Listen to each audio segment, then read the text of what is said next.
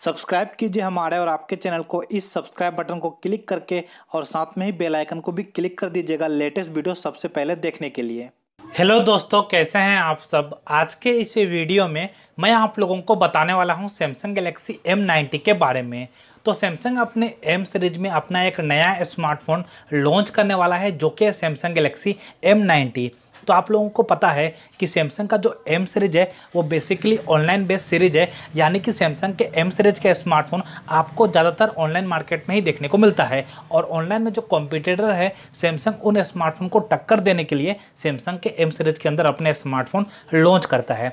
तो सैमसंग अपना एक नया स्मार्टफ़ोन लॉन्च करने की तैयारी कर रहा है और ये स्मार्टफ़ोन है Samsung Galaxy M90 basically Samsung Galaxy M90 नवंबर के एंड में या फिर दिसंबर के मंथ में आप लोगों को देखने को मिलेगा। ये रिपोर्ट पहले भी आ ही गया था कि जो सैमसंग का M90 है, ये क्वार्टर फोर में लॉन्च किया जाएगा। यानी कि आप लोग एक्सेप्ट कर सकते हैं कि नवंबर के एंड में या फिर आप लोगों को अक्टूबर दिसंबर के मंथ में ये स्मार्टफ़ोन देखने को मिलेगा।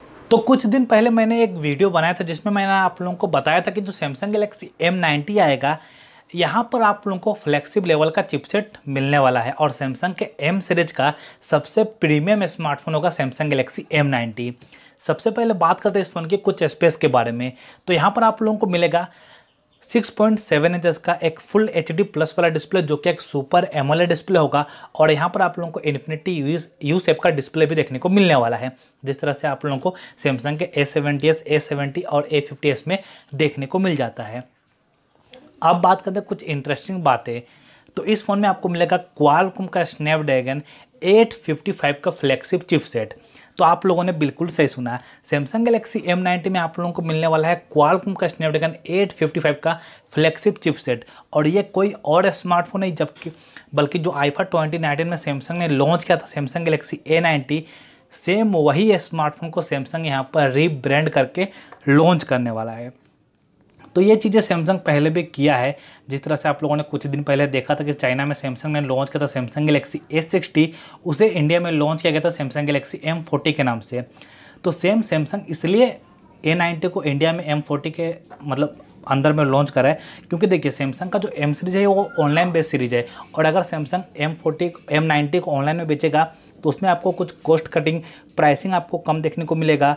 तो ये सारी चीज़ें यहाँ पर सैमसंग देखा है, और मेरे ख्याल से ये जो स्मार्टफ़ोन आएगा ना, ये रियल मी के एक्स टू प्रो रेडमी के के ट्वेंटी प्रो और वन प्लस को टक्कर देने के लिए यहाँ पर सैमसंग लॉन्च करने वाला है।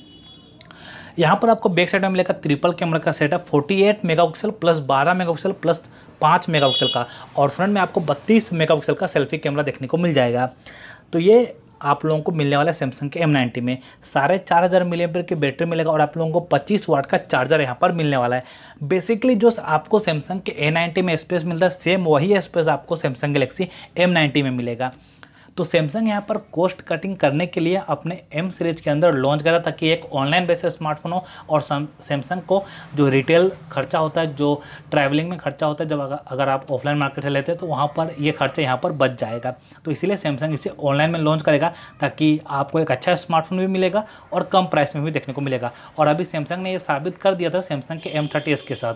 आप लोगों ने देखा सैमसंग ने कितना कमाल का स्मार्टफ़ोन कितनी कम प्राइसिंग में यहाँ पर लॉन्च किया।